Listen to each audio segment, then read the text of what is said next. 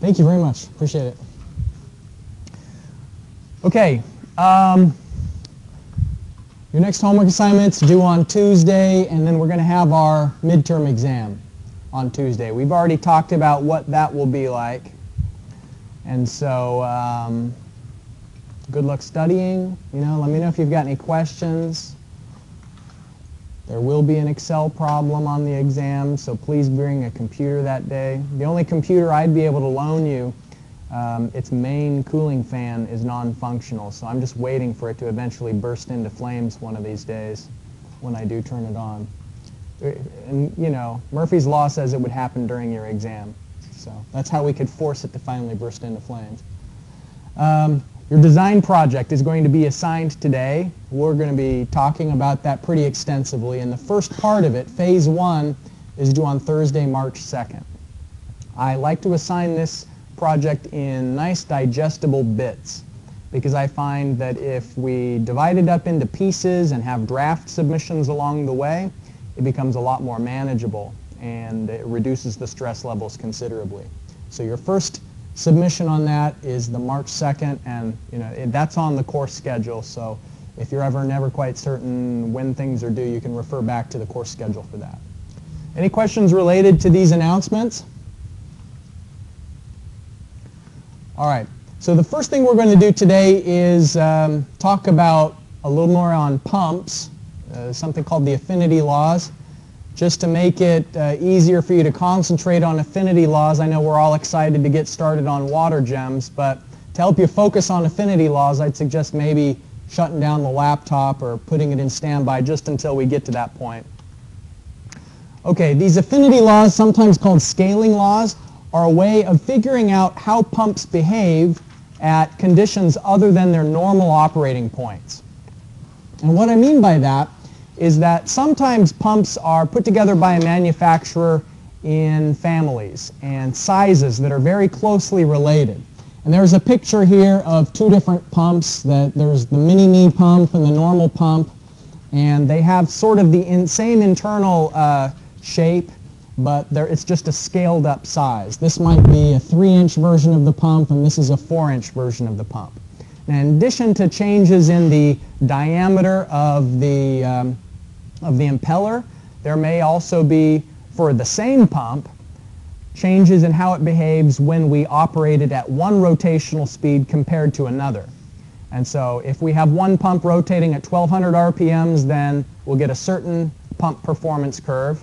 But then if we spin it at a different speed, we'll get a different performance curve. And you'll remember in the previous class when we were looking at those performance curves, uh, let's see, here was that one from a manufacturer.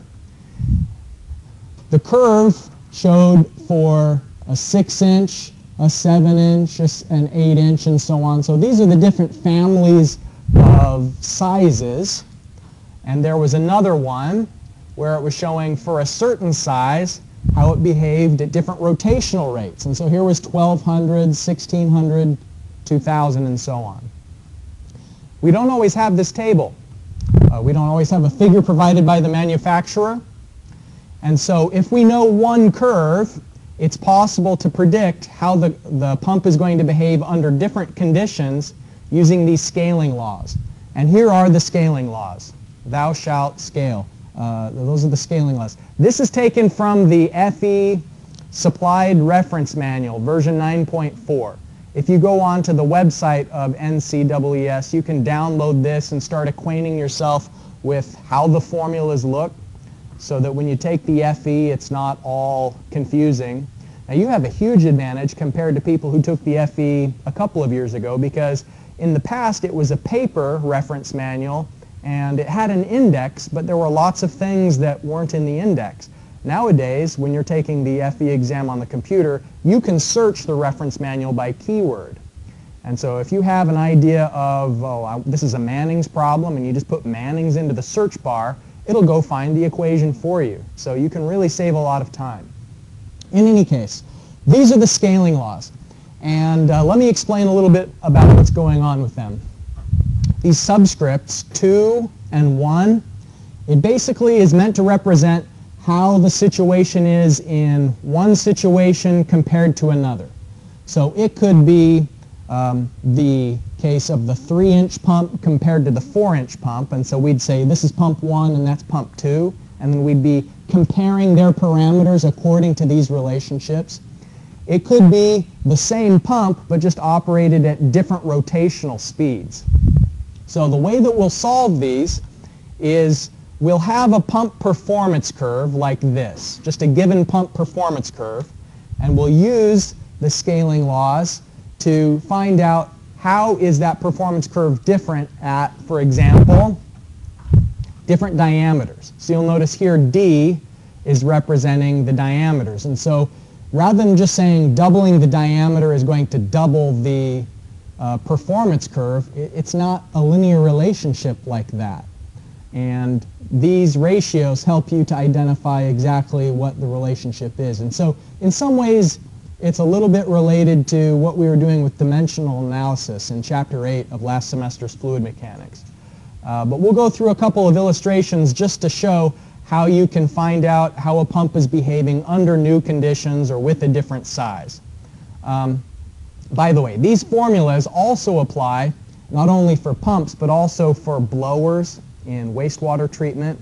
There are a lot of situations where people use blowers to provide uh, oxygen to the uh, treatment system or in fans like in building, uh, heating, cooling, air conditioning. So these apply to situations where you've got an impeller connected to a motor, in other case, in other words.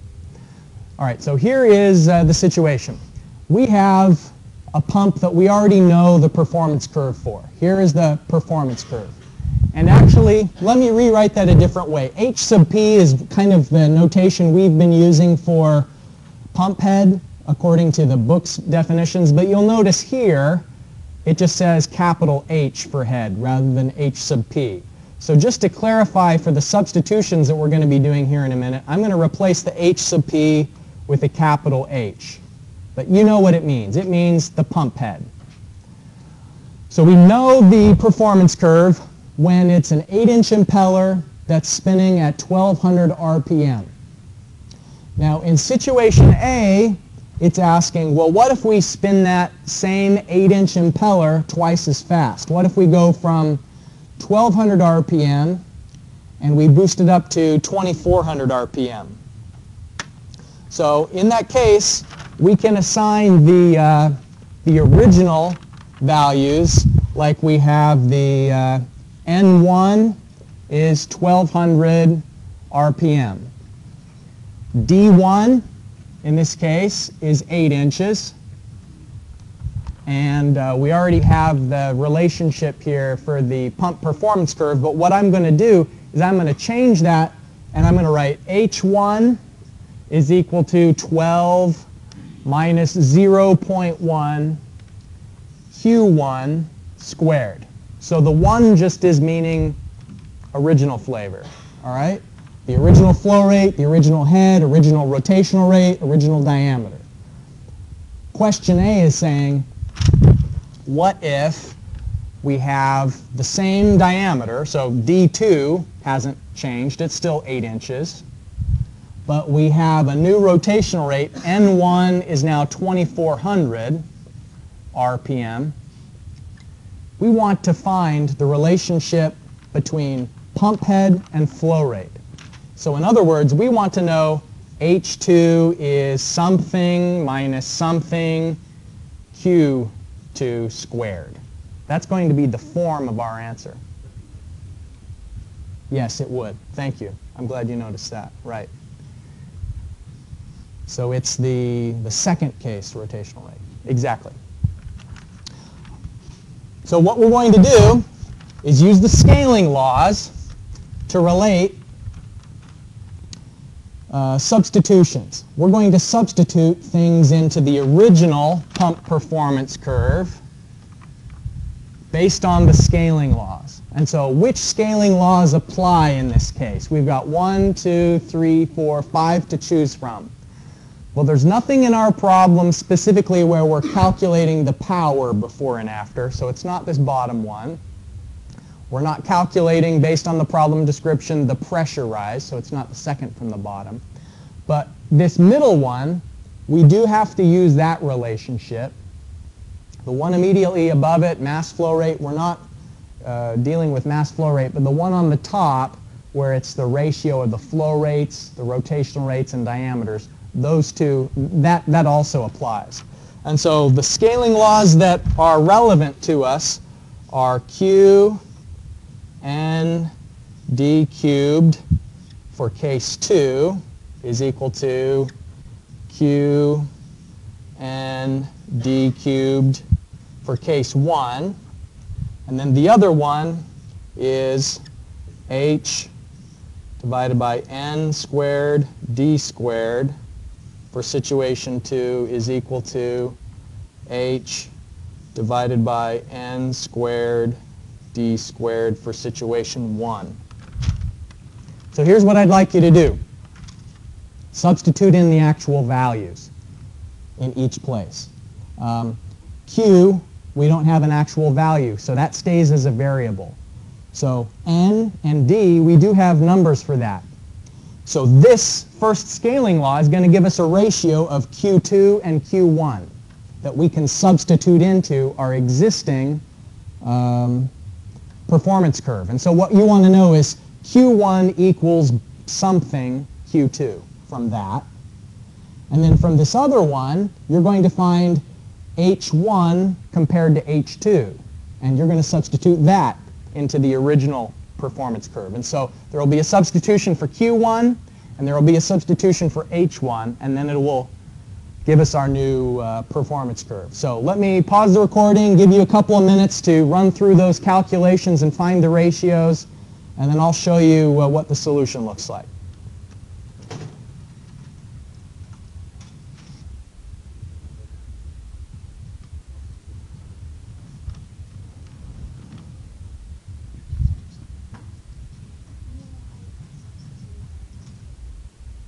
So you find uh, Q2 in terms of Q1 and H2 in terms of H1, substituted into the original performance curve, and then that gives you the new performance curve at the different rotational rate. Yes?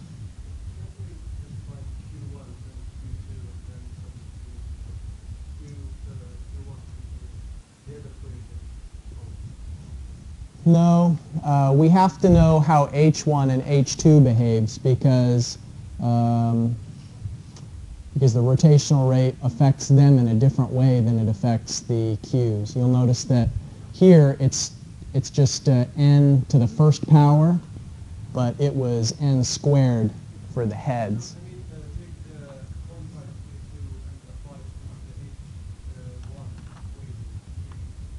Into this equation? Mm-hmm. Sure.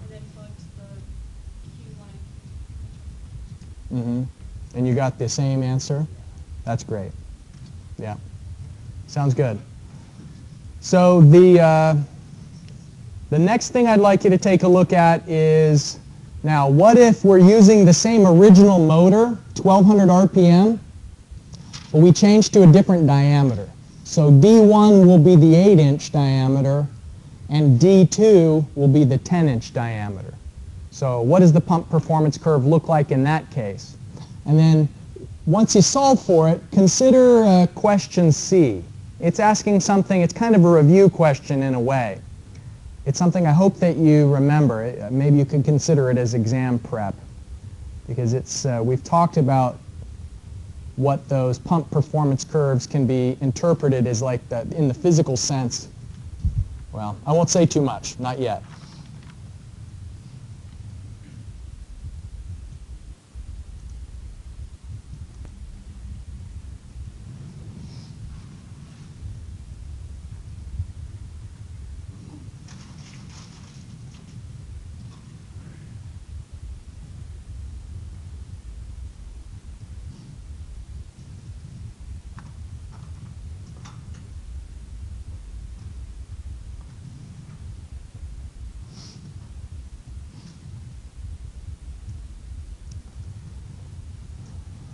Okay, so again, we have to know the relationship between Q1 and Q2.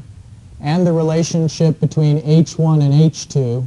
And once that's defined by the scaling laws, you can substitute it into the original performance curve and get the updated performance curve under the new conditions. And so in this case, we are increasing the diameter to 10 inches, operating it at the same 1200 RPM. And um, so that's increasing the cutoff head a little bit.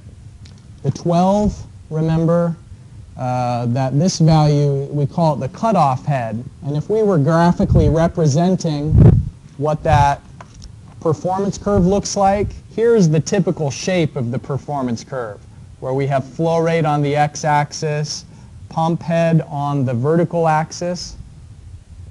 And what the intercept represents is the maximum amount of head that a pump can add at zero flow rate. If you have a little bit less head, than that, then now it can finally actually start moving some water.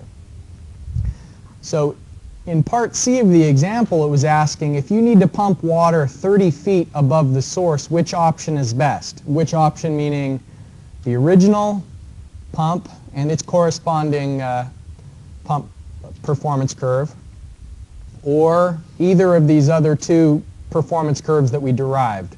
This one, which was with the 10-inch impeller, or this one, which was operating at 2400 RPM. Anybody have an idea of which of the three options might be the best choice? Which one? The 2400, you're right. That's the best choice. In fact, it's the only choice that will work at all. And why is that? 48, yeah. So this pump can lift water a maximum of 48 feet. And any less than that, and it will be operating at a higher flow rate. So it's good. But the other two pump performance curves indicate a cutoff head of 18 feet or a cutoff head of 12 feet. And so they simply wouldn't be able to push water even a fraction of a liter per second. It would just be no flow whatsoever. The, the pump would be just locked up, struggling to lift the water that 30 feet and uh, not successful. Okay. This happens to be the last of the new material that will be included on the exam. Uh, the rest of what we're going to be talking about today is more oriented towards the design project. Any questions on the affinity laws before we move on to the design project type stuff? No?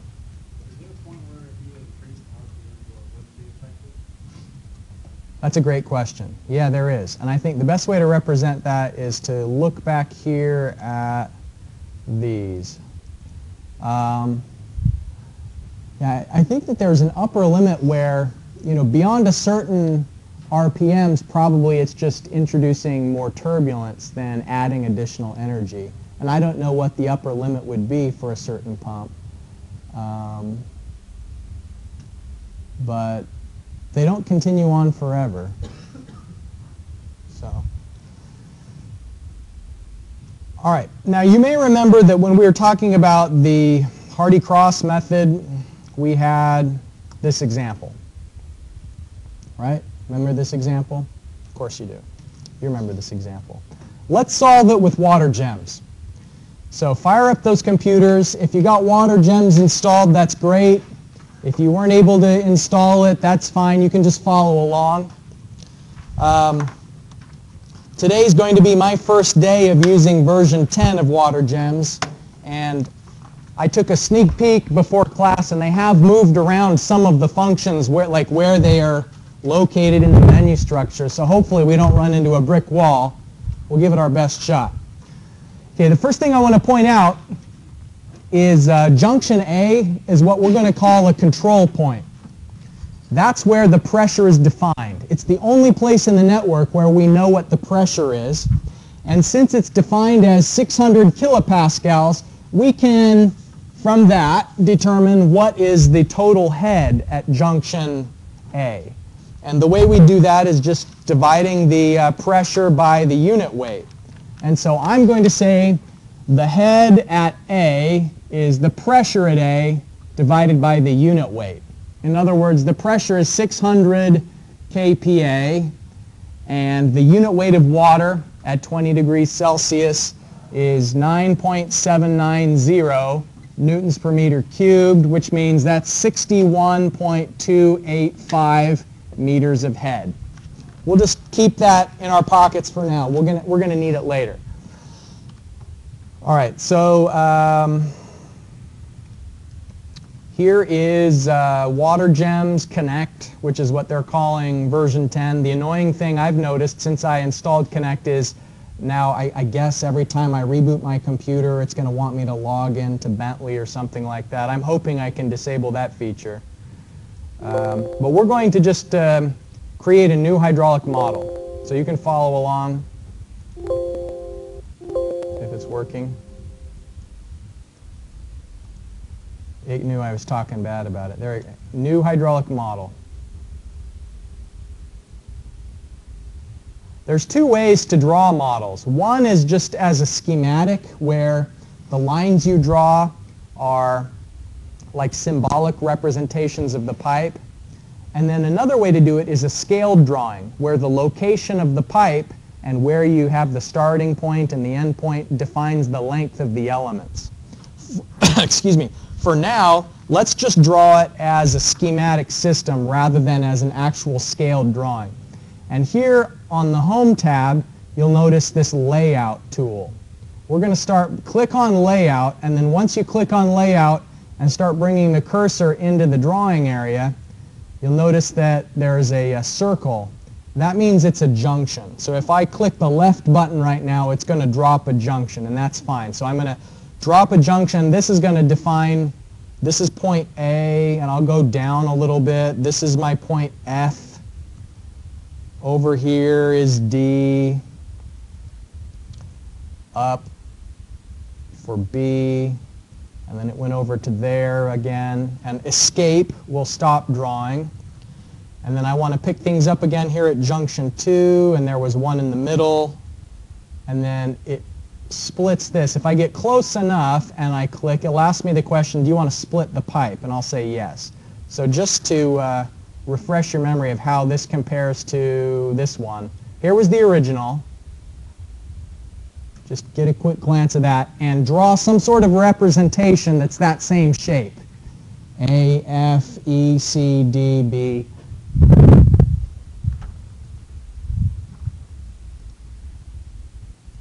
Okay, so here's my schematic of it. it. It doesn't look exactly the same, but that's all right. I'm going to go in and override the lengths that it has in the back of its mind based on where I clicked. I'm going to give it what's, what are called user-defined lengths. Okay, um, something else I need to do is from the drawing, I knew that the pressure here was 600 kilopascals. And the way that I fix that is by having a reservoir connected to it. So right-click, and it, see where it says junction? We want to change from junction to a reservoir. And so we're going to drop a reservoir in the immediate vicinity of that junction and then right click again to change from reservoir back to junction and click on this first one. So we've, what we've got right now is our network and the reservoir.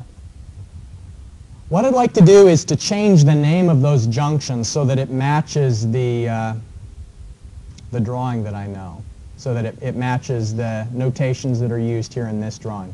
By the way, here are the flow rates that we came up with when we used the, uh, the Hardy-Cross method. So what I'm hoping is that the flow rates we get out of WaterGEMS are pretty close to the flow rates we got when we were solving this by the spreadsheet method. Okay? So I'm going to rename these junctions by opening up a flex table for the junctions. So here on the Home tab in the ribbon, see where it says Flex Tables? Have it do this drop down, and we're going to choose the Junction Flex Table. It's a lot quicker to edit them all in a group rather than clicking on each element individually. So when you bring up the Junction Flex Table, I'm going to just go here under the label and change it. I don't want it to call it J1. I want that to be A. And let's see, J4 is the what I was calling B. So rename the elements. to match. Junction 5 is my E.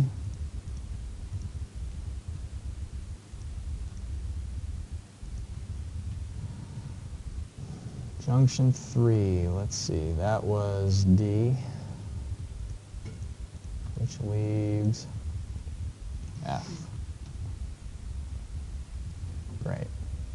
Some other things I could enter here is if I knew the elevation of each of these junctions, I could enter that in, like the ground elevation. I'm just going to assume that they're all on the same plane and that they have an elevation of 0 what I'm going to have to do is define the elevation of the water in the reservoir so that I'm forcing the pressure at junction A to be equal to the 600 kPa that's given in the problem statement. So I've got junction names. I could go in and rename these pipes if I wanted to. I'm not going to bother with that, but what I am going to do is I'm going to turn off the labels for the pipes. They're not adding anything. So I'm going over here to the left window, and I'm turning off the annotations for the pipe labels. That just cleans up the image a little bit. And if you want, you can zoom in as well. I assume that's uh, view zoom extents, and that will fill the screen with whatever you've drawn so far. All right, so there's some things we have to tell the model. It doesn't know right now what the diameter of the pipes are. It doesn't know the lengths of the pipes. It doesn't know what the pipe is made out of and it also doesn't know what flow rates are being drawn out and where. So all that information we have to give to the simulator before it's able to tell us the pressures and the flow rates. So let's go and open up the flex table for the pipes. And when you have the flex pipe table open, we're able to um, define the lengths. And so what I was calling pipe AB, for example, I can, in the start node and the stop node, find AB. That pipe has a length, according to the drawing, of 220 meters. If you have your notes from class before, it may be easier for you to, uh, to type all the stuff in because um, I'll occasionally pull it up on the screen here but what I'm going to be entering in the next couple of moments is I'm going to be entering in the pipe lengths and the pipe diameters for each element in the network. All right, so AB had a, a, diameter of 500 millimeters and a length of 220. Now to define the length, I have to turn this thing on has user defined length because that's how it knows to override what it thinks the length is based on where I clicked. So I'm going to turn that on for all of them. And rather than clicking over and over again, I can do a global edit by right-clicking at the top of the menu, global edit, set the value to a check mark, and then it will do all of them. So they all have user-defined lengths. Mm-hmm. Great question. Um, you have to do it at the beginning. And uh, so that's one of the things that's like a hard-learned lesson. I guess I maybe should have mentioned that at the very beginning, that um, anytime you open up the program, you have to make sure you're in the right unit system. And then before we execute the model, we want to make sure that you're in uh, Darcy Weisbach rather than Hazen Williams for the calculation approach. Yeah?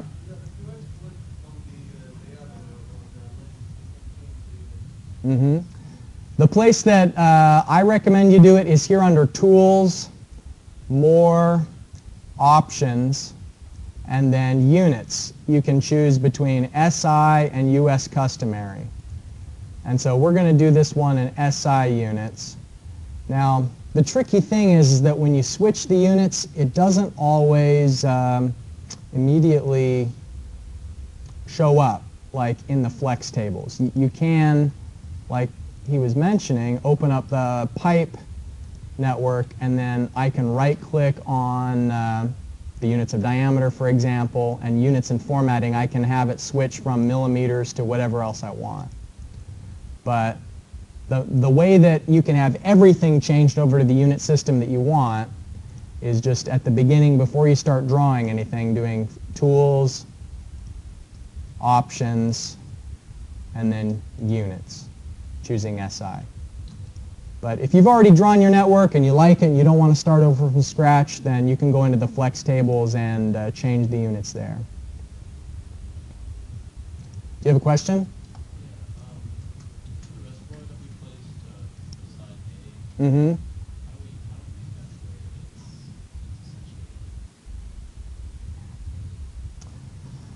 It doesn't have to be exactly at A.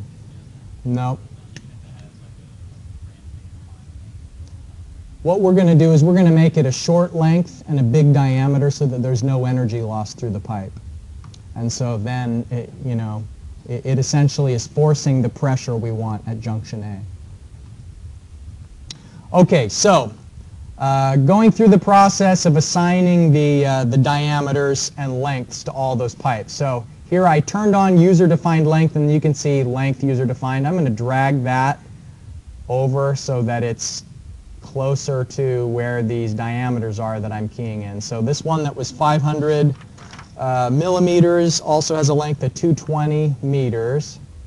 And let's see, pipe AF. If I go to the drawing for pipe AF, that one was 400 millimeters and had a length of 180. Okay, pipe DF, looking on my drawing here, that's 200 meters long and 500 millimeters in diameter. Okay, so 500 millimeters in diameter.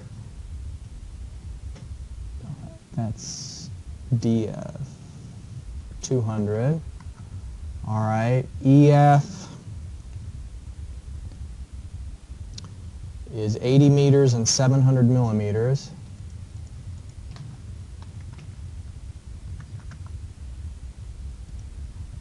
CD is 850 for the diameter and oh, 850 and then for the length is just um, 80. Okay, BC, 650 and 100.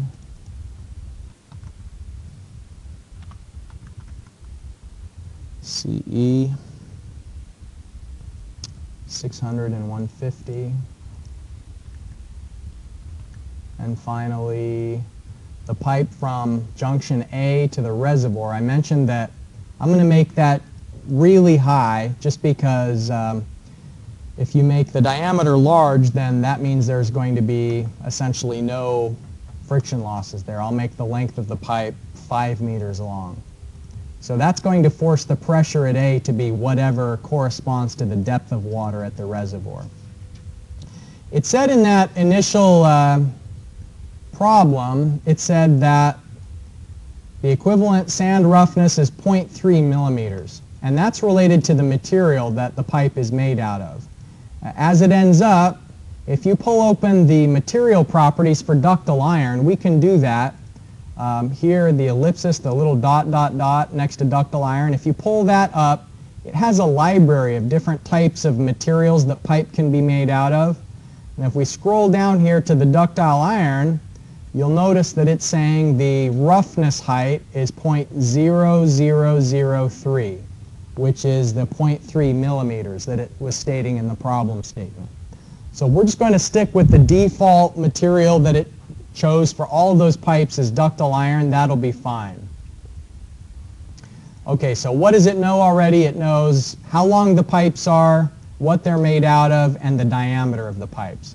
What it doesn't know is how much water is coming out of the system. And we know from the uh, sketch here that there is uh, water coming out at E and water coming out at B. So I need to put that into the network now. I'm going to say here at junction E, I can open up the uh, flex table for the junctions, maybe.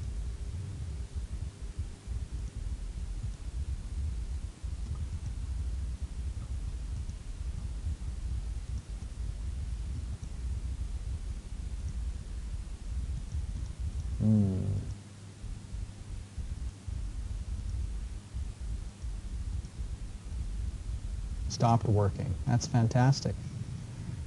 So I guess now's a good time for me to say it's always important to save your work because you never know when the program's going to crash, right? I didn't save my work, so I think we're probably going to lose this. Oh, wait. Okay, well, I got lucky. I'm going to save my work.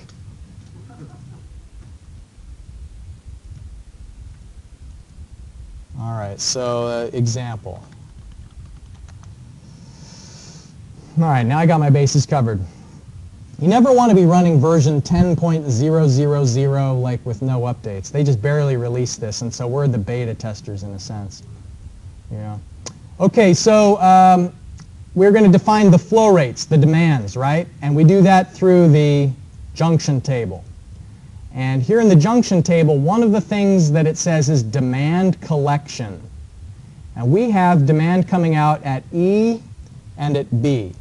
And so here for E, on demand collection, I'm going to click on the ellipsis, the little dot, dot, dot there, and I'm going to tell it that its base demand is 1600 liters per second because that corresponds to the 1.6 cubic meters per second.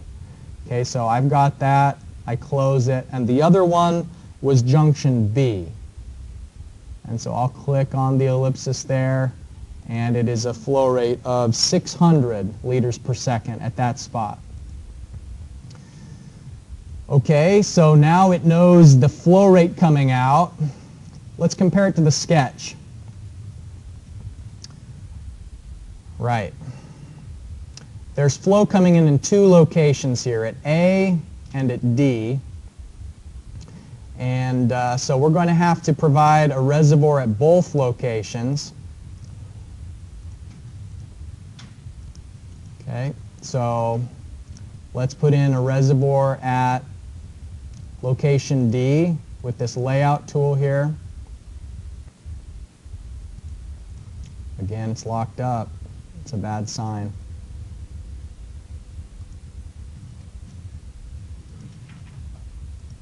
All right. I guess I just need to close that error message over and over again. So layout, right click, get a uh, reservoir I'm going to drop the reservoir near it and connect it near the junction there. Okay. And what we knew from our uh, previous solution, in that example, we calculated the, uh, the pressures at each location. Let's see, where was that solution? We knew that the pressure at junction D was ahead of 57.83. So these are going to be the water elevations that I assign for those two reservoirs. Okay, so let me go now into here and I'm going to go to the flex table for the reservoirs. And reservoir 1 is at A. That needs to have the 61.265. 61.265. And then the reservoir for the other one, we need to have a pressure at junction D is, uh, okay, 57.83.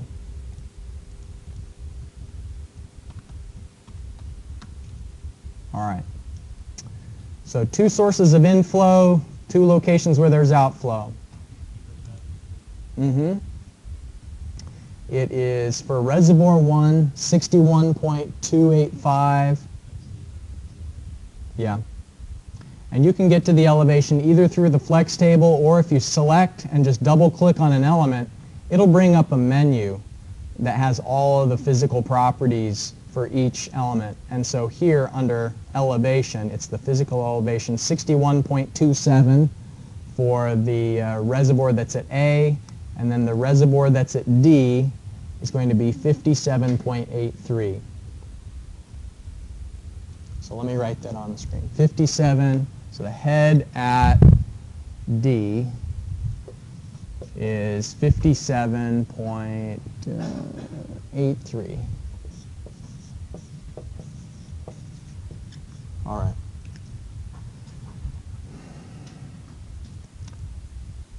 So we can calculate the model now by clicking on the compute button. And what it's going to do is it knows that water's coming out of the network at two spots, and it knows where it can get that water from. We don't have to tell the program to suck the water from the reservoirs. It'll just automatically do that. Um, so I'm going to click on the compute button now.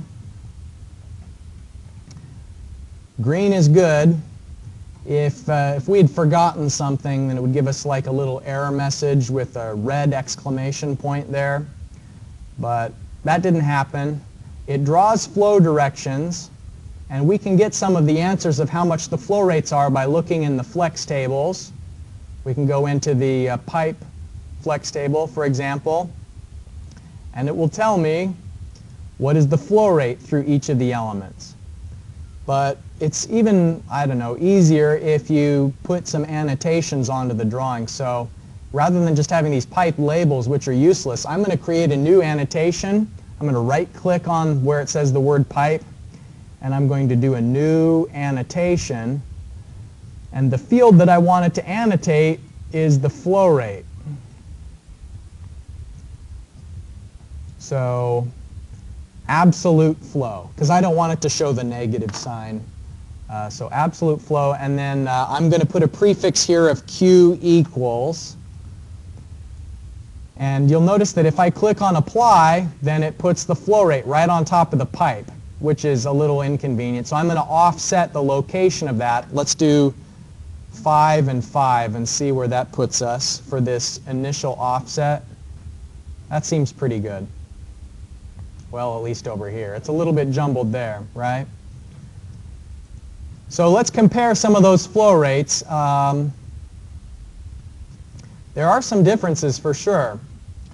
It's saying that it's going to take from this reservoir 1.9 cubic meters per second. But in our problem, when we were doing this, it was taking 1 cubic meter per second from this reservoir and uh, 1.2 meters per second from D.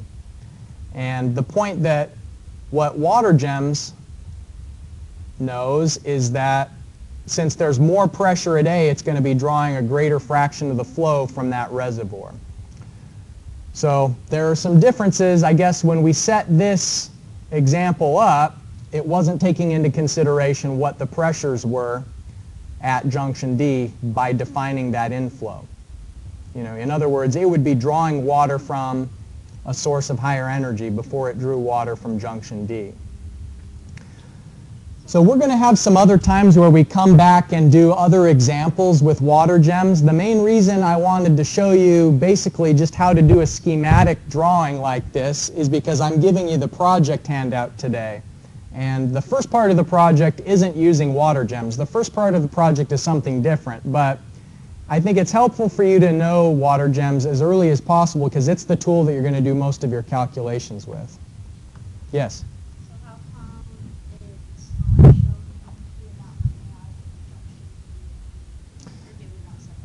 No, it, it doesn't annotate that. I mean, uh, we could create a new junction annotation that had the outflows, but if we double click on the element, then remember that demand collection here, it'll show the demand of 1.6 cubic meters per second. But the reason it's not showing it yet is we don't have any annotations yet for the junctions. I think that we could put a demand collection annotation on there Let's see if, if we put demand, if it shows.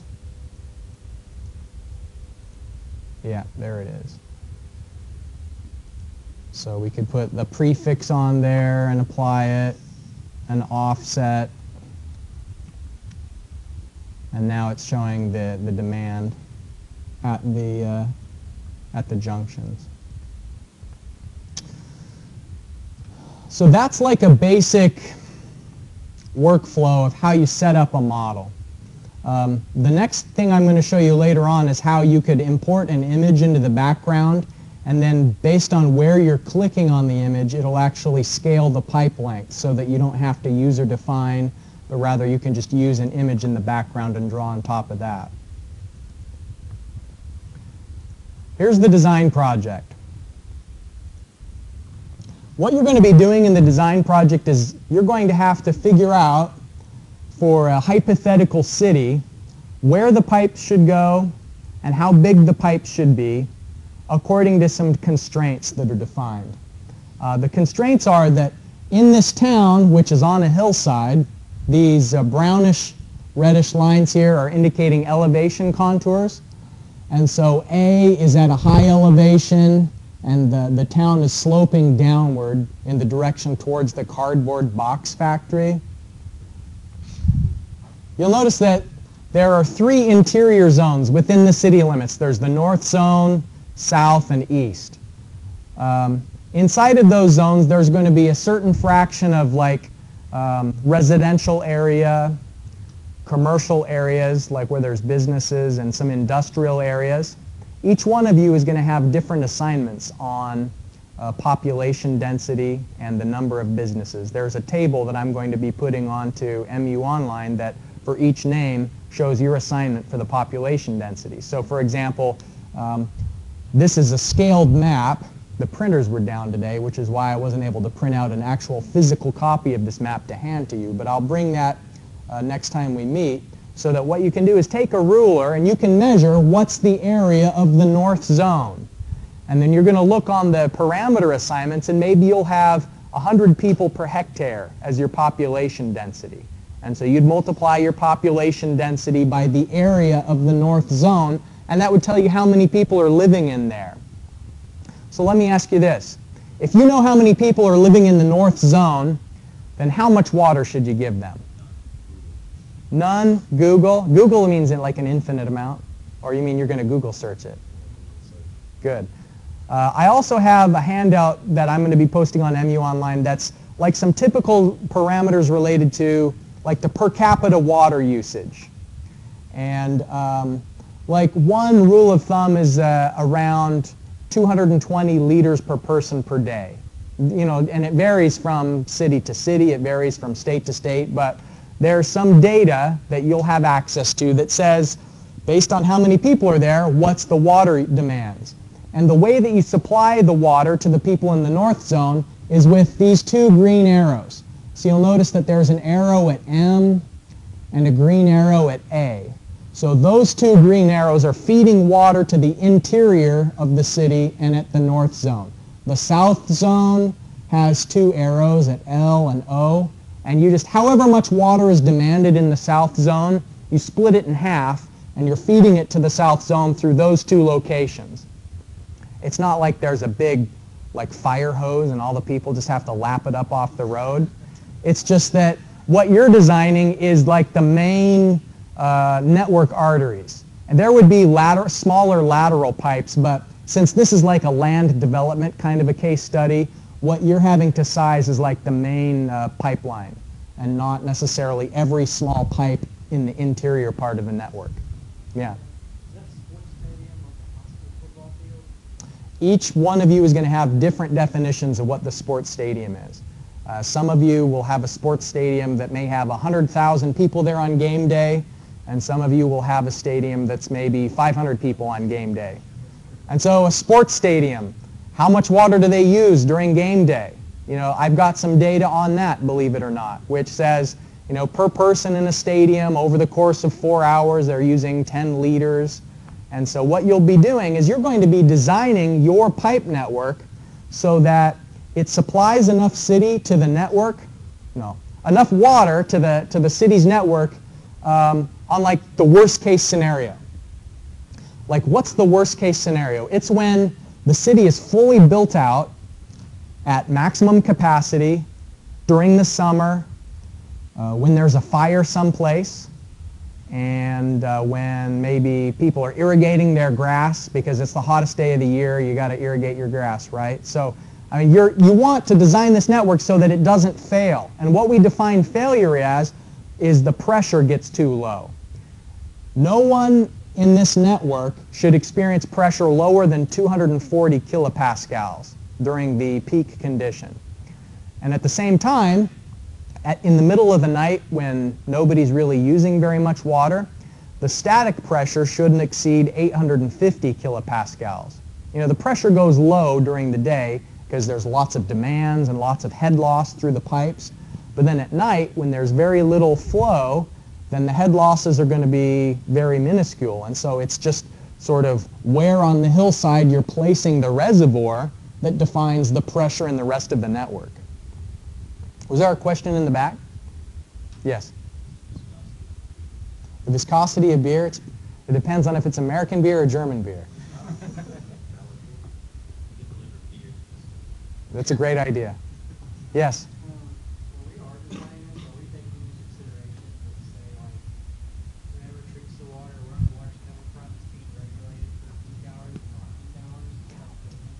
What you're going to do in one of the parts of the project is you're going to size a reservoir, like a tank, up on the hillside because um, the water in this city comes from a spring at a steady flow rate. But like you're starting to indicate, in the middle of the day, people are using a lot more water than at night. And there has to be some sort of a way to uh, balance out the fluctuations. And so one of the phases of this project, which I'll tell you how to do, is to size a, a tank, a storage reservoir, so that there's enough water through the course of the day. Yeah.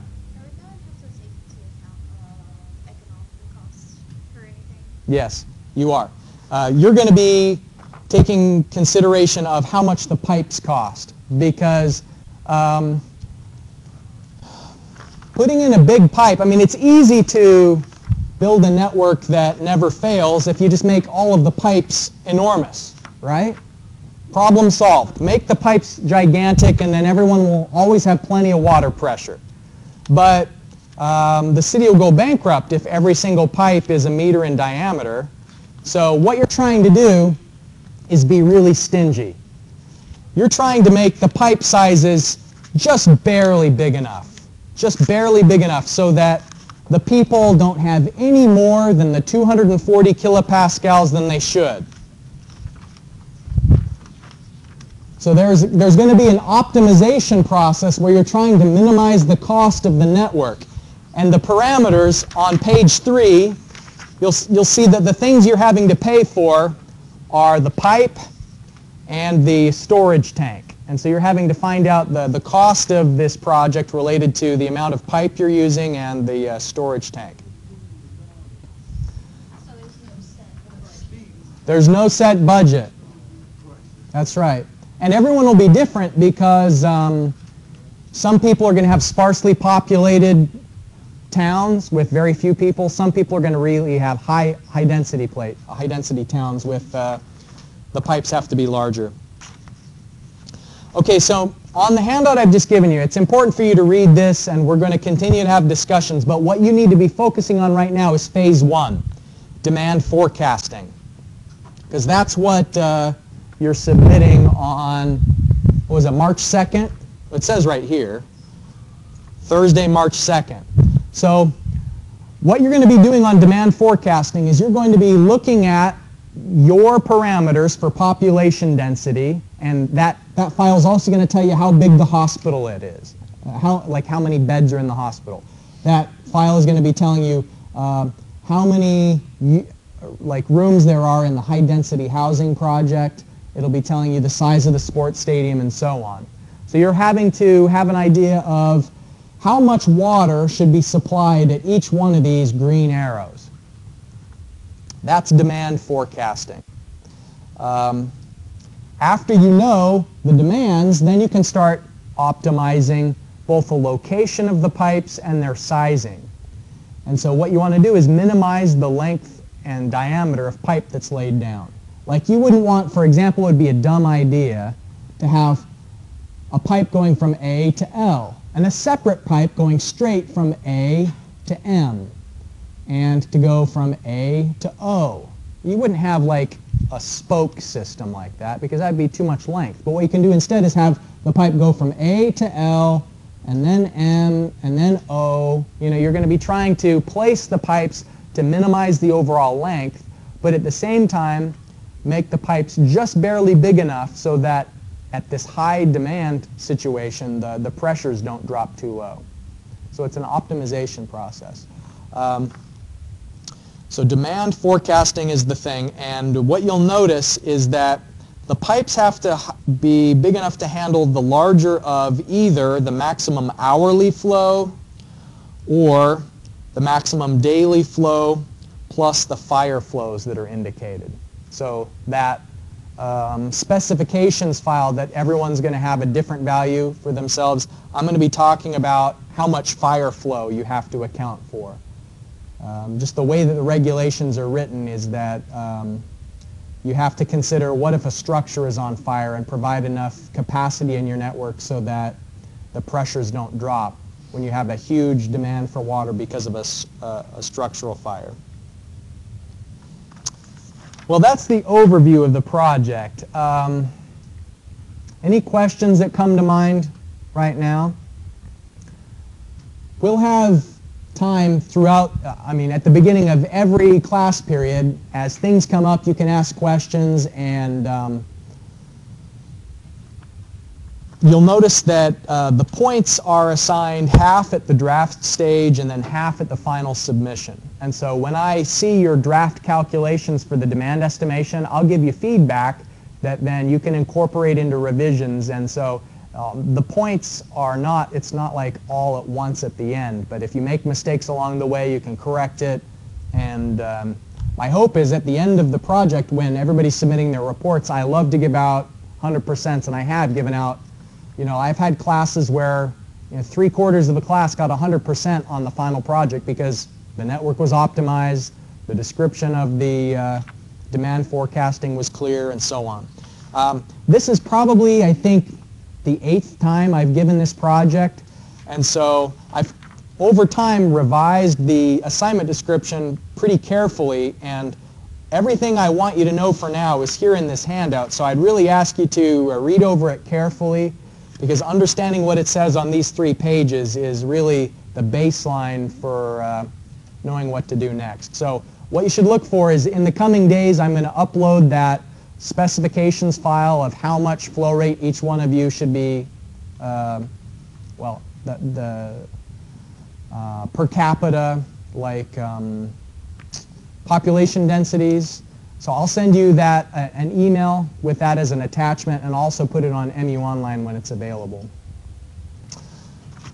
All right, so that's it for today. Just remember that uh, on Tuesday we've got the midterm exam and the assignment is due.